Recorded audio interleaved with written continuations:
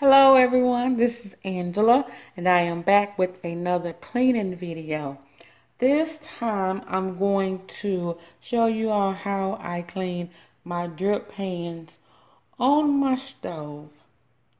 So let's get cleaning. Okay, you can use whatever kind of cleaner you want. I'm doing the Easy Off. And so what I do, just spray. And I just let it, you know, sit just for a little while. To, lo to loosen up everything. I just spray it to loosen up everything saturated really, really good. Especially um, on the parts that are, you know, like really tough. So, yep, I get in there really good and get it good and clean. So, I let this sit on here maybe about 15, 20 minutes and then I start the cleaning and I'll show you that when I come back. Okay, the Easy Off has soaked some and I, as you can see, by me just rubbing my hand on it, it's coming up. So I'm, I got the pumice stone and this brush attached to it. But first I like to use just this sponge to really loosen everything up.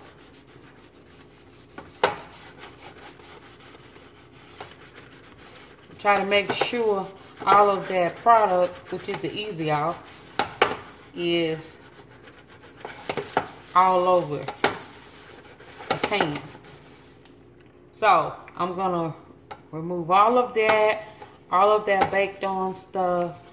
We're to get all of that off and I'm using this this part of the I guess the brush and pumice stone I'm using that part first I'm gonna use this part first and try to loosen up as much as I can now I'm gonna take this pumice stone turn it around so you can see you see all of this gunk on there. We're going to get that off with this pumice stone.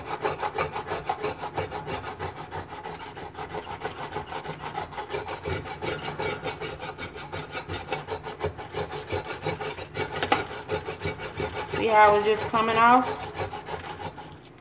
That's all you need.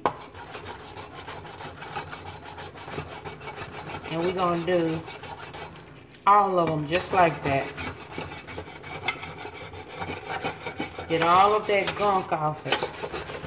Because it's just baked on stuff. Baked on, caked on.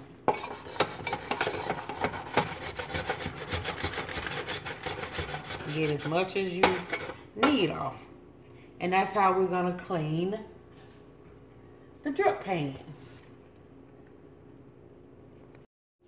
And I forgot to tell y'all, when the pumice stone can't get up in between it, Make sure you use a spoon. And see, that spoon, it get where the pumice stone can't.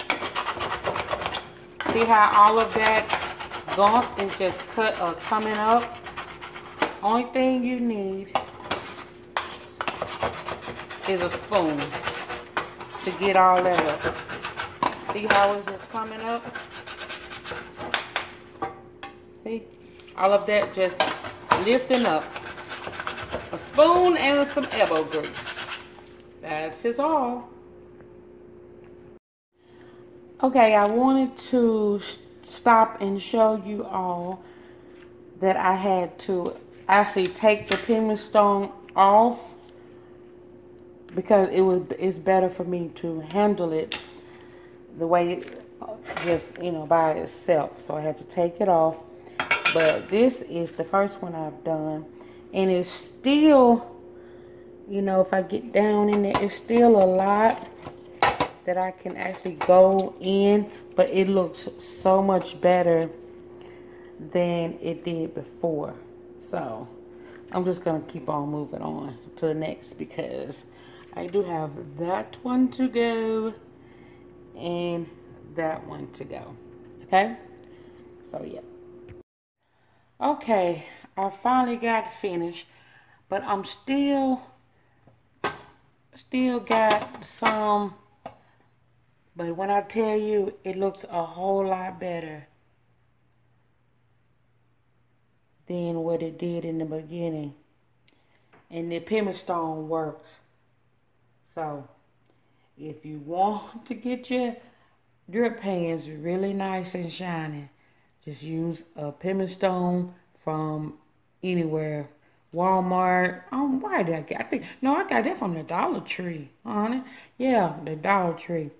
So get you a pumice stone and get in some elbow grease and get the strawberry. Okay. Thank y'all for watching. Don't forget to comment, like, and subscribe. See you in the next video. Bye.